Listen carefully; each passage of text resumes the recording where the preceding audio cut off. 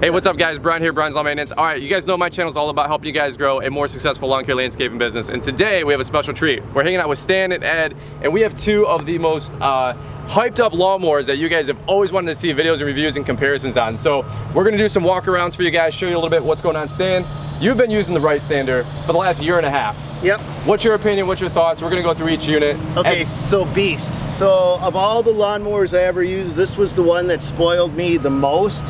The ability for this thing to handle just about any situation kind of ruined it when I got onto the medium heavy duty lawnmowers or any other lawnmower, plain and simple, because I automatically assumed that they could all do what this lawnmower could do and nothing could be further from the truth. So then as I started to, to tackle diff difficult situations, like, wait a minute, why can't, what, what? I wasn't on the Wright mowers, but Right. here's the, here's the caveat, and I'm, I'm with Ed, who actually created and built this thing. I had two guys, one loved this, and one didn't love this. One hmm. called it the Golden Chariot, hmm. and the other guy's like, oh, I'll take the, our, our Toro GrandStands because he preferred the more nimble ability. The other guy preferred the fact that he wouldn't slide down and go into the pond at the bottom of the hill. Right, with the big wide tires. The big wide tires. Nobody, I've never seen this on a lawnmower before. That's fascinating. I don't know if that's a marketing thing, Ed. No. We thought it was for rednecks originally, but I've come to find that uh, it's actually pretty useful. We thought it was gonna like really mess up things when you're gonna make a zero turn or whatever, but Sure. the ground pressure becomes so low that it's not that bad. You know, it's more like what you see on a golf course with these huge tires. It's, it doesn't scuff too bad. You're gonna call the Ferris, you're gonna call the Wright. I've never used the Ferris, so I'm not going to call either one. I'm just here to tell you what my experience is with the Wright. You've used this one. I've haven't used the you? Ferris. Now the Ferris, this is the Z3X. You guys know, uh, if you guys have watched my channel for any length of time, know that I had a demo with these guys, and I was actually really impressed with this unit. Um, this one right here, it's got the oil guard system, so there's a lot that goes into it than other than just mowing that I feel is great for a contractor and an end user, somebody like ourselves. Now, Ed's probably got the engineering side of it, so I'll let him give his, his pros and cons of each unit because he's really smart with this stuff. For me personally, I felt it was just a comfortable ride. The cut quality was a B plus. The the ride quality B plus. The ability to only have to change my oil once a year. That, that's an A feature. So a lot of these little features kind of put this into that next category. The cut quality, B plus, like I said, it wasn't the best cut by any means. So that's why I want to take it through some tall grass. But again, I haven't used it right. So that's why I'm kind of curious. Maybe we should flip the script. Maybe I should use that guy and you should use the Ferris. Absolutely. Let's do that. From an engineering standpoint, tell me about the good things about the Ferris. So I would say that some of the top good things are the tires are pretty pretty far spread apart. You know, you're going to lose a little bit of the overlap, but the stability and the turning torque that you have is pretty good, and it lets you get fairly down between the wheels. That's the great thing. Now, the engine's fixed to the frame, and the belt drive's not that long, so you know the belt's going to flex down a bit when they, when they go. And, uh, raise So when and you raise deck. and so lower, do that. Push the button. So when you raise and lower the deck, the belt's going to angle down lower. right? yeah, the belt that connects to the the deck is going to deflect. Right. So the range for Bermuda to St. Augustine is not really there. Hmm. And part of it's because of that belt business, right? You can't go so far without the belt derailing. So that's that's an aspect to it. Like I said, layout's good, the visibility good, it's good. Control forces are light, but actually when you get near high speed, they don't actually respond and track quite as well. And the transmission in this is the Hydro Gear 4400, which is the class lower than what's in here. This is a pump and motor system, but the but the motor side of this is more like the uh, uh, what's that 5400 so out of the showroom no they're, they're both going to handle well but when you get two three years down the road you want that transmission not to be given up because the cost of a transmission replacement can total a machine. Gotcha. so that's one thing you know the oil guard's nice. I think we're going to see that feature in more machines on the market. Um, that's Is that be a new feature? Uh, because Briggs owning Ferris, and when they went to market with this, they had some exclusivity for the first however long. Yeah. Um, so you're not you're not going to see anybody else's machine right now, but that's going to change. How long soon. has this been on the market? Because I'm a, I'm scared of a new Yeah. the first season of owning anything if it hasn't been out for three or And four honestly, years. I'm a little bit afraid of putting the oil outside the engine because there's more things that could go wrong. But the feature here is phenomenal, right? The idea that you could change oil so infrequently. So the oil Yeah. change is as simple as this. Look at this, okay? That's your drain plug, yep. Take this thing off, open this up, and it's going to drain out. Okay, you do that once a year, and then show them the filter. Turn it 90 degrees, lift it up. Just pull it straight out. It'll come. Stove in. There you go. So that's your oil change, right? So it's a cartridge style versus like a filter. You, remember, Right. you know the, Yeah, the yeah. yellow filters? Mm-hmm. And then you have your dipstick. By the way, you can pour oil right through here through that cone Yep. and fill this up if it ever gets low. But this is every 500 hours from what from what I understand. So I feel like that is for guys that are mowing, you know, at, at regular conditions, that's uh, once a year. That's that's that's a huge selling point. Um, I like the controls. The controls are pretty intuitive. You know, PTO, get your brake. Uh, the deck lever, I, I feel like it should be on the opposite side because most guys are right-handed, so I want to pull up with my right hand versus my left. Um, but you know, that's okay. You know, Just about every other mower in the market's like that. yeah, totally. And the, the fuel is on the wrong side as well. If I pull up to a pump, I feel it should be on the left-hand side. Uh, when I back it out of my trailer, gas tanks for most vehicles that seem to be on the left-hand side.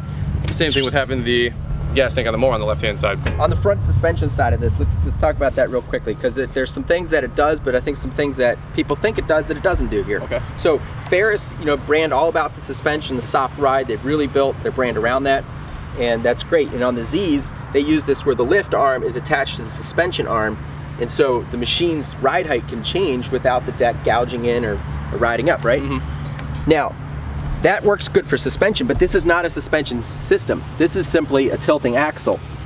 So you have this axle that tilts right here. And from my standpoint, what happens is the deck is gonna follow the rear tires anyway. See this? It's gonna follow the rear tires. Sure. And what happens here is when this wheel goes in a hole, it's gonna cause the deck to wanna scout more and lower the front. Whereas on a fixed frame system, when you get used to it, you actually hover over the terrain how you want to cut it. And you don't want your deck going to the lowest point, you want your deck riding the highest point. Mm-hmm. And so I believe that there's some benefits to the fixed frame system over the tilting beam system.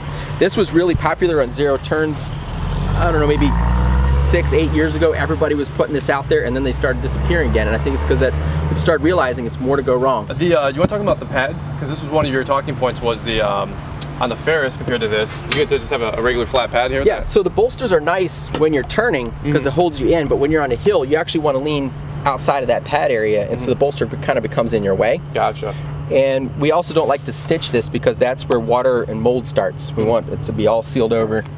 And so um, that, that's why we have the flat pad. Most of our machines actually have a dual layer in there, so there's a softer layer and a firmer layer. It's Sure. not a single piece of foam. And we saw the making the seats in here. There's got to be hundred staples in here, like you said, versus Yeah. maybe just a, a couple dozen. So I was able to come in and field fix this, wing nuts, pull these, pop these off, get at everything, get at my pulleys and belts, and just be able to keep going. It wasn't a matter of even pulling any tools out to do anything, any kind of repair work. Everything was always the one, one of the things that I really appreciate. And I'm, I'm a guy that I, I appreciate simpler the better. Totally. Simpler the better. So in your uh, your experience in your testing, which one has been performing better overall? I'm biased. Biased. so that's why I'm excited. Which one do you guys think? Leave me a comment down below if you haven't already watched the footage. So Ferris, Wright Stander ZK. Let's go check it out.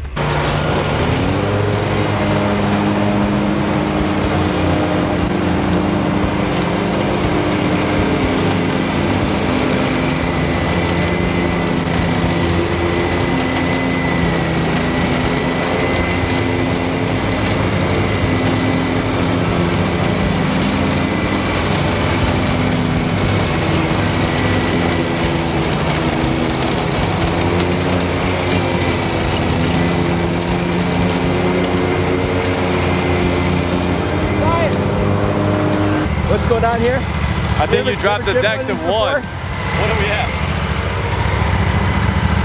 About one and three quarters. Safety meeting, safety meeting. No, one of the things that I want to point out is if you look, you were just set at what? One? One. One, and you mowed at top speed? Top speed, bro. Look at that cut. Wow. Look at that flipping cut, dude. How did that feel when you were driving it? I didn't even feel any resistance. No. Out of the engine or the hydros. That's what I was saying Wow. about being spoiled. Look at you That's guys. what I'm saying about being Uh, you guys, spoiled. I do the bait and switch on me? Come on. No, I saw I'm him over here tinkering it. Dude, I'm gonna tell you Wow. straight up. Look at this cut. Look at it. it. Look at it. It's flawless. High. I mean, we're talking about top speed, one inch. There's not a flipping blade of grass left, Brian. Wow. Tell me about that cut. That, I mean, that's as real, as raw and authentic as you get on a video, right? Because Yeah. I feel like I've been set up, but at the same point, look at that. I mean, that's, I'm actually really impressed. I didn't feel any resistance in the hydros. In fact, I wasn't even going fast enough. And then I looked behind me and I saw, I saw this, I go, oh no. And, then- and then Ed's like, How about that? He set me up. That's awesome. That looks good. Did, did you actually set him No, up? No, because I had it down to take the deck covers off. So it was just rolling. It was just it was just full flow. Wow. Yeah, yeah. That's what I'm talking about. Spoiling Wow. it. Yes.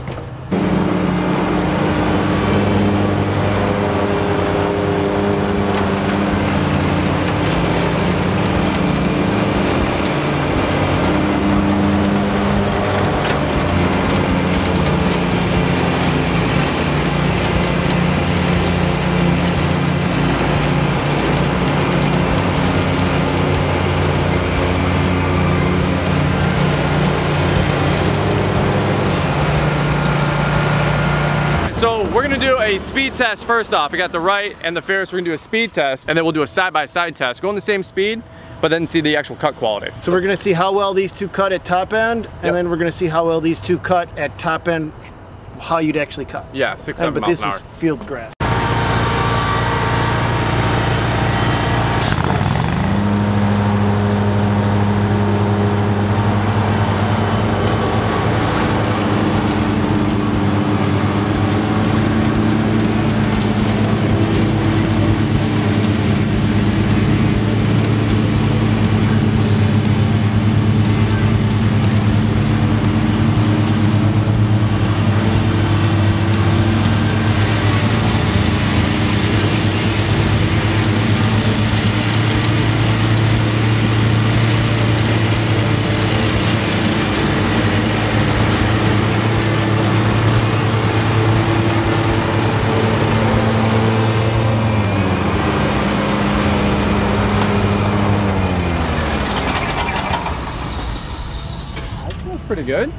How's the Ferris?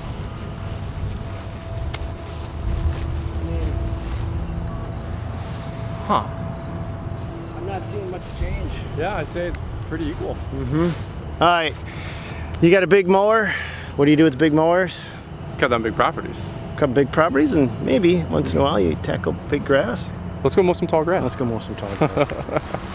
you don't have to ask me twice. Okay guys, we got a little bit of a debate. I'm not gonna say I'm the first one that should be spouting in here, but I think this is four inches.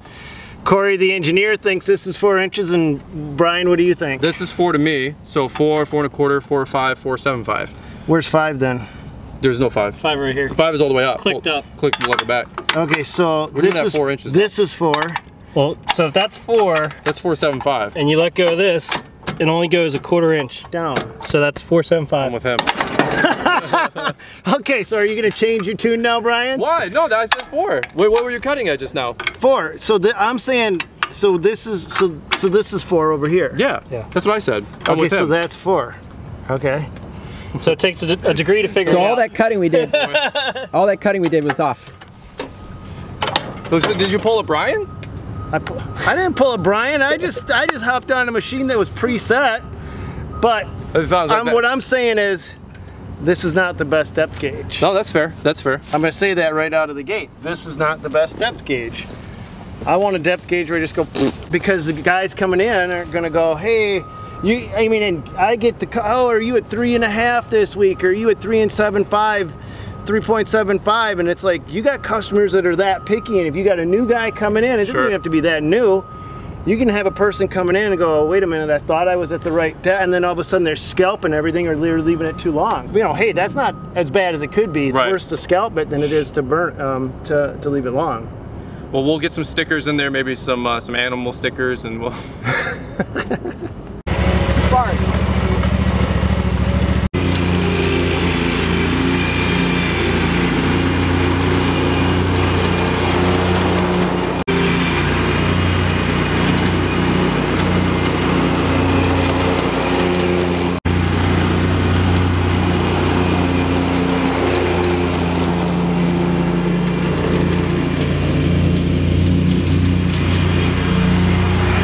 some pretty evenly cut grass, I gotta admit.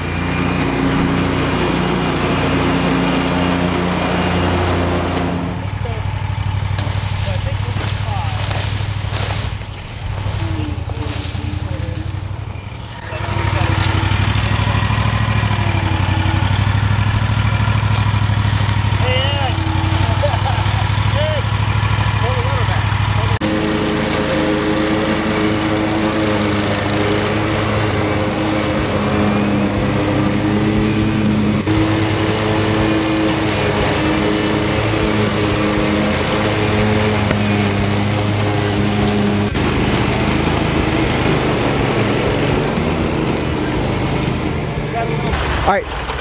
What I was saying about the suspension is that, yeah, it follows the contours, but that sometimes that's not what you want. So we have a hole right here. Yeah. Brian, I'm gonna ask you to start the engine and drive your front wheel over that hole with the blades on and cut, okay? We're gonna leave one pass, and we're gonna bring the other machine through and it's gonna cut deeper.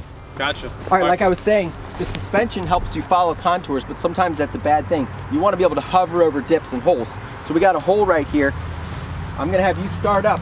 Bring your front wheel right over that hole. It's gonna hover over it, and the tweet, the double wheels are gonna straddle that hole. We're not gonna scalp it. So go ahead, start the blade.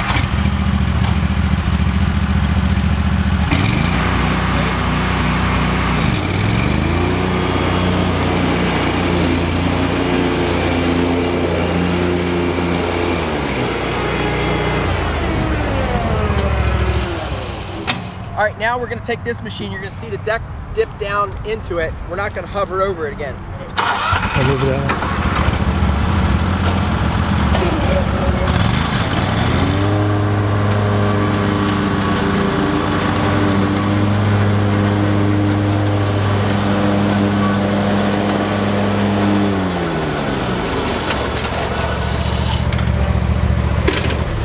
You know, so we, we got a little closer through here and through here because it because it dipped and you, you almost don't want that effect. And actually, Walker guys drive mowers way different than your zero turn guys because Walker mowers, the front wheels follow the contours. The guys that are used to a rear weight, rear bias mower, where they just let the wheels hover over what they're trying to go over. Sure. And so that whole suspension thing, I'm saying it, it doesn't necessarily help a lot. And to me, it's just a lot of moving parts. Yeah. I, I like it for the contouring of like uh, residential subdivisions. Yeah, if it's real But- smooth and nice out, Yeah, but this this makes sense with uh, with big divots in the ground, Yep. holes in the ground. the whole deck drops when it goes in. I did see it. It just dropped down and bottomed out.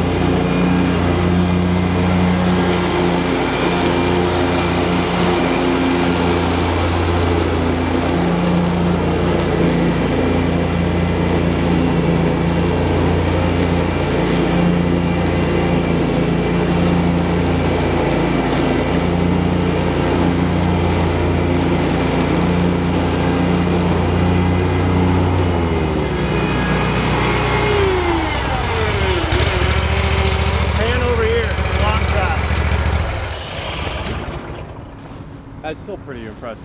It is actually. You know what I mean? This field is four four feet tall. This grass. Yeah, That's some thick stuff. it is. I mean, Yeah. it's, so it's like wet, lush conditions. It's like late summer. You know, we got We'll a do lot it. of rain. We'll do. We'll do a second pass on this one. Once. Let's just see. Uh, Handle brake. huh? Brake. Oh. Brake on the left.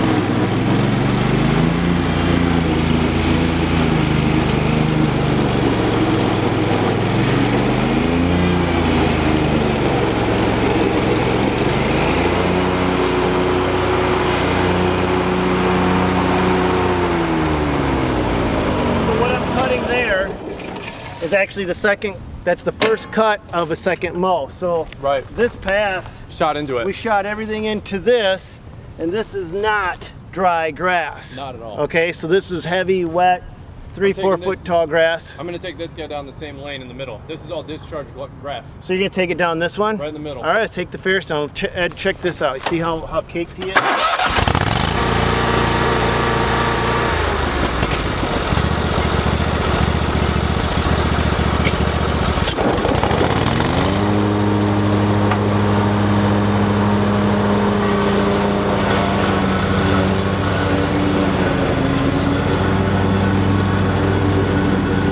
You take it down this way.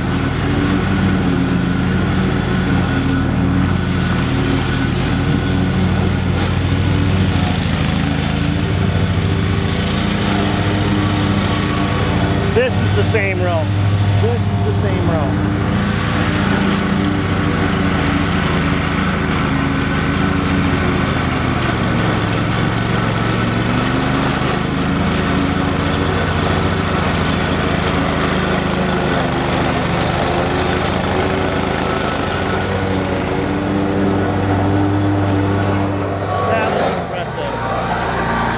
So, we got a 61 inch deck cut and a 72 inch deck cut. What do you think, Brian? I think the Wright pushes the grass out of the deck that much faster. Look at this. This is all from the Ferris, and I like the Ferris, but this right here, this was all just clumped up underneath. The, the Wright when it came out, there was nothing left underneath it. Okay, but look at the, now you didn't bog down at all. Uh, a little coming. bit at the beginning. Okay, but you had a pretty darn good cut Yeah. for what you were doing, recutting old second grass. Yeah. So, but you're also cutting less. So I'm cutting 72 at a time, handling a bigger swath. That's true. So when it's heavier grass, Sure. that that it's going to be extra. But then, dude, if you're cutting that much more grass, it's still discharged it that much faster. This is a 61, Okay. and look at look at all this where, where is. Look, look, this is all stuff that I just was discharging after I was out of the pass for 10 feet. All right, so we've seen the Goliath go through the tall grass. Now let's do the heavy duty mid-size mowers and see how they handle this tall stuff. But if you guys want to see that, come on over to my channel because Definitely. that's where we're going to be doing it. It's gonna be good.